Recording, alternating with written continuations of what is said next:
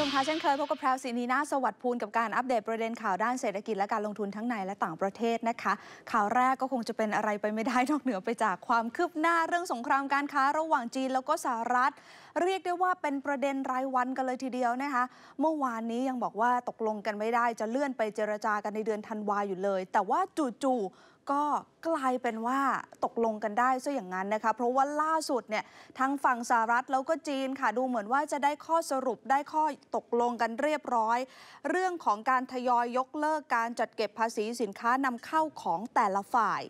โดยเรื่องดังกล่าวก็เลยเป็นปัจจัยที่ไปหนุนหุ้นกลุ่มอุตสาหกรรม แล้วก็เทคโนโลยีในสหรัฐนะคะดีดตัวขึ้นอย่างแข็งแกร่ง เพราะว่าบริษัทยักษ์ใหญ่หลายแห่งเนี่ยก็ล้วนแล้วแต่ลงทุนในจีนด้วย ดาวโจนส์เมื่อคืนที่ผ่านมานะคะ เพิ่มขึ้นร้อยกว่าจุด แล้วก็ S&P 500 ยังคงปิดที่ระดับสูงสุดเป็นประวัติการภาวะการซื้อขายค่ะก็กลับมาคึกคักนะคะ นอกจากประเด็นเรื่องของจีนแล้วก็สหรัฐแล้วเนี่ยอีกหนึ่งเรื่องที่มันอาจจะสร้างความเชื่อมั่นให้กับนักลงทุนก็คือ มีการเปิดเผยจากกระทรวงพาณิชย์ของจีน ซึ่งเขาออกมาถแถลงเลยนะคะว่าสหรัฐและจีนได้ตกลงกันที่จะทยอยยกเลิกการจัดเก็บภาษีสินค้านำเข้าของแต่ละฝ่าย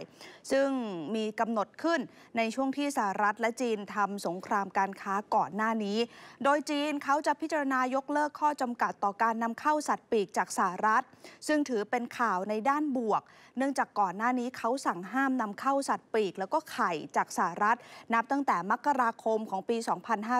2558 นะคะ ซึ่งก็ทำให้การส่งออกของสหรัฐสุดตัวลงมาอย่างต่อเนื่อง ซึ่งพอจีนมาประกาศแบบนี้แล้วก็เลยกลายเป็นข่าวใหญ่ข่าวดีที่ส่งผลต่อบรรยากาศการลงทุนในตลาดหุ้นสหรัฐนั่นเองค่ะ ก็เรียกได้ว่าเป็นข่าวที่อาจจะต้องอัปเดตกันเป็นรายวันเลยนะคะ วันนี้เป็นแบบนี้ก็ไม่รู้ว่าพรุ่งนี้เนี่ยจะมีอะไรเปลี่ยนแปลงหรือเปล่า มาดูกันที่เรื่องใกล้ตัวกันบ้างคุณผู้ชม ภาพรวมของเศรษฐกิจไทยปีนี้ก็อย่างที่เราทั้งรู้สึกแล้วก็ได้รับข้อมูลว่าไม่ค่อยดีสักเท่าไหร่หนึ่งสะท้อนได้จากตัวเลขเศรษฐกิจหลาย ๆ ตัวเลขนะคะหนึ่งในนั้นก็คือดัชนีความเชื่อมั่นผู้บริโภค ซึ่งพอภาวะภาพใหญ่เป็นสัญญาณที่ไม่ค่อยดี แน่นอนว่าในแง่ของผู้บริโภคเอง ก็ย่อมรู้สึกเป็นกังวล ไม่กล้านำเงินมาจับจ่ายใช้สอย เพราะไม่รู้ว่าอนาคตจะเป็นอย่างไร ล่าสุดค่ะมีการเปิดเผยตัวเลขนะคะจากศูนย์วิจัยศูนย์พยากรณ์เศรษฐกิจและธุรกิจมหาวิทยาลัยหอการค้าไทยนะคะ ดร ธนวัฒน์พลวิชัย เปิดเผยผลสำรวจดัชนีความเชื่อมั่นผู้บริโภคในเดือนตุลาคม ปรากฏว่าตัวเลขปรับตัวลดลงต่อเนื่องเป็นเดือนที่ 8 แล้วนะคะ ซึ่งเป็นระดับต่ำสุดในรอบ 40 เดือน มาจากการที่ผู้บริโภคมีความกังวลต่อสถานการณ์เศรษฐกิจโลก ที่ยังคงมีความผันผวน ไหนจะปัญหาเรื่องของการถูกตัดสิทธิ์ GSP ปัญหาการเมืองของบ้านเรา การส่งออกตัวเลขค่าเงินบาท ซึ่งในช่วงไตรมาสที่4นะคะก็มีการประเมินว่า ถ้าเราทำให้เศรษฐกิจโตได้ 3.4 ถึง 3.5%ก็น่าจะช่วยทำให้ภาพรวมปีนี้เศรษฐกิจไทยเติบโตได้ 2.8%แต่หากมาตรการต่างๆ ของภาครัฐไม่สามารถจะออกมากระตุ้นเศรษฐกิจได้อย่างเต็มที่ ปีหน้าก็อาจจะทำให้เศรษฐกิจไทยเติบโตได้ไม่ถึง 3%นะคะแล้วก็มองว่าการที่กรงงลดดอกเบี้ยลง 0.25%เมื่อช่วงกลางสัปดาห์ อาจจะกระตุ้นเศรษฐกิจได้ไม่มากเท่าไหร่นักค่ะ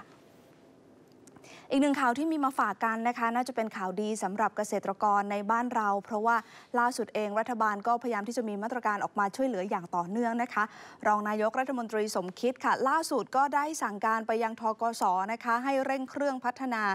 เกษตรแปรรูป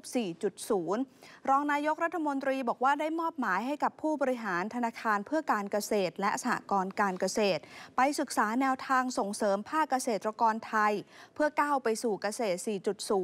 โดยเฉพาะการส่งเสริม smart farmer มอบหมายให้ทาง BOI นะคะมอบสิทธิประโยชน์ทางภาษี แล้วก็สิทธิประโยชน์ด้านอื่น ๆ เพิ่มเติม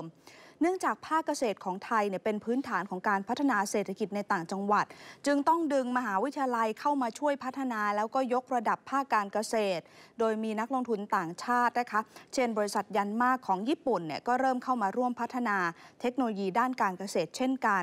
เนื่องจากปัจจุบันเนี่ยเครื่องมือทางการเกษตรของไทยยังคงมีราคาแพง ก็เลยอยากให้ทกส